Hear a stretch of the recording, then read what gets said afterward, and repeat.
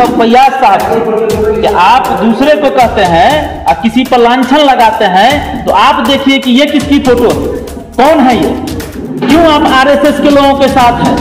क्यों हैं आप? यहाँ दिख रहा है, आप देख सकते हैं कि आरएसएस के लोग के साथ आप भाला तलवार लेके खड़े हुए हैं। आप कहते हैं, मैं राष्ट्रीय जनता दल का हूँ, भाला तलवार के साथ। मैं तो कहीं नहीं हूँ। कोई दिखा दे हमें कि मैं कहा ये बिस्ती की धरती है। यहाँ राष्ट्रीय जनता दल का एक एक कार्यकर्ता इतना मज़बूत है कि आप संगठन को अच्छा से चलाइएगा तो किसी बीजेपी के विधायक में, किसी बीजेपी के कार्यकर्ता में उतना ताकत नहीं है कि आपको चुनाव हरा दे। आपसी गुटबंदी के कारण ही आप यहाँ से चुनाव हारते हैं और संगठन को धारदार बनाने का काम नहीं करते हैं। मैं डॉक्टर राजेश रंजन यादव, प्रदेश प्रवक्ता, पंचायती राज प्रकोष्ठ एवं प्रदेश सचिव युवा राजद बिहार। आज दिनांक 9 सितंबर 2022 को महादेव की धरती सिंगी ऋषि की धरती, विद्यापति की धरती पर, जन्मस्थली विद्यापति स्मारक में, आज राष्ट्रीय जनता दल का मीटिंग किया गया, बैठक किया गया।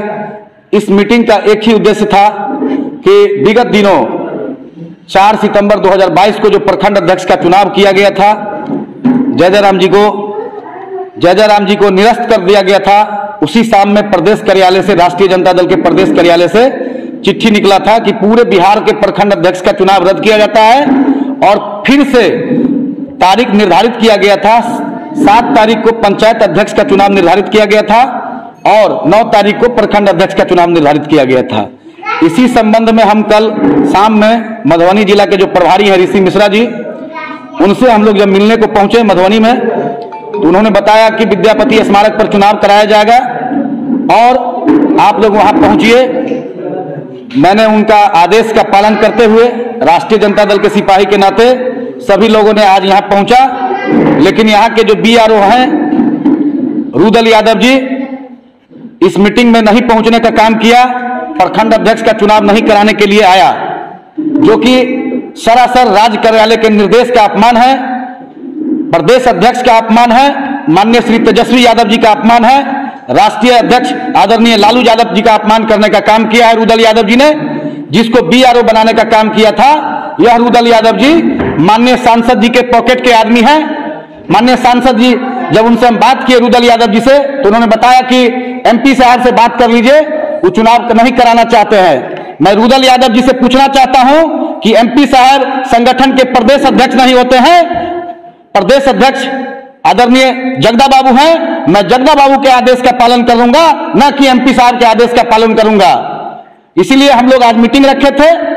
मीटिंग में सारा पंचायत अध्यक्ष आए हुए थे चुनाव कराने के लिए, लेकिन न कि यहाँ रुदल यादव जी नहीं पहुँचे। लोगों में काफ़ी आक्रोश है। बिस्पी के युवाओं में काफ़ी आक्रोश है कि लोकतांत्रिक तरीका से चुनाव नहीं कराया। और चुनाव से क्यों भाग रहा है लोग? चुनाव से जो ल- जो व्यक्ति अपने आप मनोनीत किया था 28 पंचायत के पंचायत अध्यक्षों का उनका जब समर्थन आप वो, वो लोग नहीं ले सकते हैं तो बिहार विधानसभा का जब चुनाव होगा लोकसभा का जब चुनाव होगा तो जनता का समर्थन कैसे ले सकते हैं उनको पूछना चाहता हूँ मैं। इसीलिए चुनाव से क्यों भाग रहे हैं? वो चाहते हैं कि मेरे पॉकेट का अध्यक्ष बने तो मैं जिस तरह से संगठन को चलाऊँगा उस तरह से संगठन चलेगा। यहाँ के युवाओं को आगे बढ़ने में रोकने का काम कर रहा है रुदल यादव जी।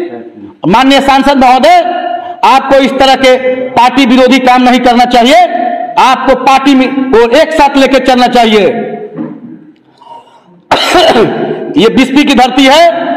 यहाँ राष्ट्रीय जनता दल का एक एक कार्यकर्ता इतना मज़बूत है कि आप संगठन को अच्छा से चल- चलाइएगा। तो किसी बीजेपी के विधायक में, किसी बीजेपी के कार्यकर्ता में उतना ताकत नहीं है कि आपको चुनाव हरा दे। आपसी गुटबंदी के कारण ही आप यहाँ से चुनाव हारते हैं और संगठन को धारदार बनाने का काम नहीं करते हैं। ये बिस्पी की धरती है, महादेव की धरती है, यहाँ एक पर एक वीर पैदा लिया है, राष्ट्रीय जनता दल का गढ़ है, यहाँ चुनाव कराने से क्यों भागता है? यहाँ के जो अध्यक्ष हैं, पाँच बार से जय जयराम यादव जी, जैसा जैसा कि प्रमुख जी बता रहे थे कि अंचल का सीओ राकेश कुमार एक बार जब उनके ऊपर केस कर दिए किसी जन समस्या को लेकर के तो उन्होंने ब्लॉक आना छोड़ दिया था। साथियों, मैं पूछना चाहता हूँ जय जयराम यादव जी को कि पॉकेट का अध्यक्ष आप कब तक बन के रहेंगे? अध्यक्ष, वैसा होना चाहिए कि पंचायत, पूरे प्रखंड में जो 28 पंचायत है उस रोज कम से कम पचास सौ आदमी का काम अब बीडीओ से, सीओ से, थाना प्रभारी से आँख में आँख मिला करके उसका काम करवाइए, तब आपको लोग प्रखंड अध्यक्ष मानेगा। अन्यथा प्रखंड अध्यक्ष नहीं मानेगा। पॉकेट का अध्यक्ष नहीं चाहिए, जय जयराम जी। धोती कुर्ता पहन लेने से अध्यक्ष नहीं होता है। युवाओं को दबाने से आप अध्यक्ष नहीं बन सकते हैं। युवा का जब आवाज़ निकलेगा तो आपको एक दिन नतमस्तक होने पड़ेगा बिस्ती में। इसलिए मैं इस घटना आज के मीटिंग के माध्यम से रूदल यादव जी को मैं के प्रति मैं अपनी दुख नाराज़गी व्यक्त करता हूँ कि आप बीआरओ होते हुए भी आपने चुनाव कराने से क्यों पीछा भागा? राज्य सरकार के राज्य कार्यालय के निर्देश पर जो चिट्ठी निकला हुआ था प्रखंड अध्यक्ष के रद्द वाला उसको आपने लागू, लागू क्यों नहीं किया? मैं पूछना चाहता हूँ इसको लेकर के हम लोग सारे लोग जो है जितने आप लोगों के मीडिया के माध्यम से कहना चाहते हैं कि प्रदेश अध्यक्ष आदरणीय जगदा बाबू से मिलेंगे और लिखित रूप से हम लोग देने का काम करेंगे कि बीसवीं में संगठन का चुनाव नहीं हुआ, जेबी के पॉकेट का चुनाव किया गया प्रखंड अध्यक्ष का। आप उसको रद्द कीजिए और लोकतांत्रिक तरीका से चुनाव कराइए। युवाओं का यही मांग है। राजेश जी एक सवाल है। क्या ये मान लिया जाए कि जो बिस्फी की जो में राजद संगठन है, इसमें आपकी फूट है? देखिए, संगठन में फूट नहीं है। यहाँ के कुछ लोग जो है, वो फूट डालना चाहते हैं। फूट बनाना चाहते हैं, तोड़ना चाहते हैं युवाओं को। फूट कहीं से नहीं है। जब राज्य कार्यालय के निर्देशानुसार जब चिट्ठी निकल गया कि पूरे बिहार का प्रखंड अध्यक्ष का चुनाव रद्द किया जाता है तो 9 तारीख को जब आज डेट था, उसमें भी चिट्ठी में स्पष्ट है कि प्रखंड मुख्यालय में चुनाव कराना किसी भी सार्वजनिक जगह पर। इसीलिए हम लोग आए थे जिला के प्रभारी के आदेशानुसार लेकिन कोई यहाँ नहीं पहुँचा। बीआरओ नहीं पहुँचा रुदल यादव जी। आखिरी सवाल? क्या प्रदेश स्तर से इस पर कार्रवाई होगी? बिल्कुल हम लोग रखेंगे। हम लोग लिखित रूप से माननीय प्रदेश अध्यक्ष आदरणीय जगदा बाबू को लिख करके देंगे तेजस्वी बाबू को लिख करके देंगे आदरणीय राष्ट्रीय अध्यक्ष गरीबों के मसीहा आदरणीय लालू यादव जी को लिखने का काम करेंगे। निश्चित रूप से प्रदेश कार्यालय में हम लोगों की बात सुनी जाएगी। मेरा मेरा तो आप देख सकते हैं सिंघिया पूर्वी का मैं वोटर हूँ। सिंघिया पूर्वी पंचायत का आप देखना चाहते हैं तो वोटर हम दरभंगिया कैसे हो गए? हम यहाँ के वोटर हैं। लोगों को। कहने दीजिए ना लोगों को कहने से क्या होगा? आप सर्टिफिकेट मान रखिएगा कि लोगों की बात को रखिएगा। बताइए। मेरा voter ID card Singhia booth संख्या एक सौ तिरानवे पर राजेश कुमार रंजन के नाम से आप चेक कर लीजिए कि हम यहाँ के वोटर है कि नहीं। उस आदमी को बता दीजिएगा कि घाट भटला के बूथ संख्या एक सौ तिरानवे पर मेरा नाम है। डॉक्टर राजेश कुमार रंजन यादव। उसको जवाब दे दीजिएगा कि वोटर लिस्ट में उस बिस्पी विधानसभा का राजेश यादव वोटर है कि नहीं? नहीं तो बरगलाने का भी काम किया जा रहा है ना। अभी मुझे भी कहा गया कि आप राष्ट्रीय जनता दल के कार्यकर्ता हैं ही नहीं। तो मैं आपको बताता चलूँ ये है ये प्रूव है। क्या मैं सर्टिफिकेट दूँ? डॉक्टर फैयाज अहमद सांसद को मैं प्रूफ दूँ? कि मैं राष्ट्रीय जनता दल का कार्यकर्ता हूँ कि नहीं हूँ? ऐसी ही बात अम्मद इलानी साहब के बारे में भी आती है कि वक्त के साथ वो बदल जाते हैं। इस पर क्या कहेंगे? सफ़ाई देंगे आप नहीं बदलता बदलता। मैंने क्या मैंने क्या कहा? जिससे पूछा मैंने मैंने मैंने कहा कि राष्ट्रीय जनता दल मेरे दिल में बसता है। मैं वो नहीं जानता मैं किसी के साथ सर्टिफिकेट लेके नहीं घूमता। या मुझे प्रूफ कराने की ज़रूरत नहीं है किसी को कि मैं क्या हूँ? आप क्या है? आप प्रूफ कीजिए। मैं साबित करता हूँ कि आप कहते हैं कि मैं बहुत ये हूँ। और कहीं कुछ नहीं मेरे पास होता है तो मैं कहता हूँ अब फैयाज साहब से कि आप दूसरे को कहते हैं, और किसी पर लाछन लगाते हैं तो आप देखिए कि ये किसकी फ़ोटो है? कौन है ये? क्यों आप आरएसएस के लोगों के साथ हैं? क्यों है आप? यहाँ दिख रहा है, आप देख सकते हैं कि आरएसएस के लोग के साथ आप भाला तलवार लेके खड़े हुए हैं। आप कहते हैं, मैं राष्ट्रीय जनता दल का हूँ, भाला तलवार के साथ। मैं तो कहीं नहीं हूँ। कोई दिखा दे हमें कि मैं कहा हूँ। कोई दिखा दे कि मैं कहा हूँ। मैं कहीं नहीं हूँ। मैं भाला तलवार के साथ नहीं हूँ। मैं आरएसएस का आदमी नहीं हूँ। मेरे दिल में राष्ट्रीय जनता दल है। मैंने पहले कहा कि मैं कोई चिट्ठी पत्रांक किसी को दिखाने का कोई मेरे लिए मेरा मालिक नहीं है। कि जो हमसे पूछेगा कि वो है कि नहीं। मैं ये कहता हूँ कि जो लोग लोकसभा चुनाव में अभी लोकसभा उन्नीस में हुआ लोकसभा में जो लोग विरोधी का काम किए हैं और जो लोग निर्दलीय के साथ घूमे हैं वो टोटल लोग डॉक्टर फैयाज साहब के लोग हैं राज्यसभा सांसद के लोग हैं। आज जो कहते हैं पर भी है चुनाव मैं बता रहा हूँ पहले मेरी बात सुन लीजिए। ये ये लोग ये लोग राज्यसभा सांसद फैयाज साहब के लोग हैं। ना कि ये लोग जो है पार्टी के लोग पार्टी के लोग नहीं है। एक भी आदमी कोई है जो दिखा देंगे आज सदस्यता चलने का काम हुआ सदस्यता अभियान किसपी में कहीं सदस्यता अभियान नहीं चला है? चला है कहीं सदस्यता अभियान। कहीं सदस्यता अभियान नहीं हुआ। चलाए थे मेरे बारे में सर आपके आरजेडी माध्यम से चला ना? आरजेडी के द्वारा जब गुलाब यादव को जी को निष्कासित कर दिया गया था उस दौरान आप लोग जो है एमएलसी चुनाव में उनका मदद कर रहे थे पार्टी विरोधी में। पार्टी विरोधी आप समझिए सर पार्टी के वो आज अगर आप कहते हैं कि छह साल के लिए निष्कासित हो गए मानता हूँ निष्कासित किए वो भी चिट्ठी मेरे पास है जो चिट्ठी फिर रिलीज़ हो रही है कि पार्टी के स्वतः पार्टी के उन लोगों को पार्टी में वापस किया जाता है। क्यों लिए? मैं पूछता हूँ अब आप पत्रकार महोदय आप बता दीजिए क्यों लिए? आप छह साल के लिए निष्कासित हुए थे फिर आप पार्टी में क्यों ले लिए? डॉक्टर शकील अहमद को छह साल के लिए निष्कासित किए फिर आप पार्टी में क्यों ले लिए?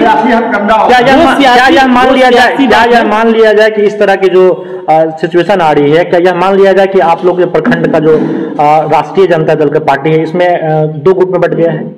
नहीं गुट दो नहीं है सर दो गुट। यहाँ गुट यहाँ सिंगल गुट है युवा गुट।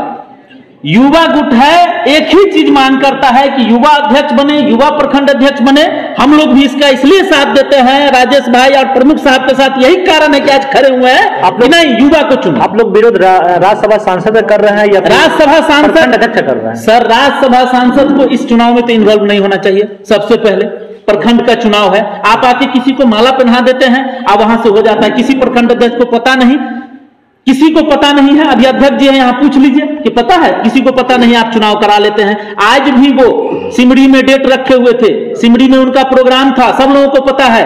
और जब ये मालूम हुआ कि वहाँ से ऋषि मिश्रा जी यहाँ दिए हैं कि हाँ भाई ठीक है प्रखंड मुख्यालय में कहीं चुनाव होगा और जब आदेश किए यहाँ तो चुनाव कैंसिल करके भाग गया। चुनाव कैंसिल करके भाग गया कि चुनाव नहीं होगा। रुदल यादव उनके पैकेट का लोग है। जय जय राम जी उनके पैकेट का लोग है। तो वो चाहेंगे कि जय जय राम जी हो। निश्चित मोबाइल को रुदल यादव बंद कर लिए हैं और कहीं कोई चुनाव नहीं करावेंगे अभी- इसको लेकर सारे लोग आपके साथ कितने पंचायत अध्यक्ष यहाँ पे? अभी यहाँ पर लगभग जो है आपको पंद्रह पंद्रह पंद्रह सत्रह को पंचायत अध्यक्ष यहाँ मौजूद हैं।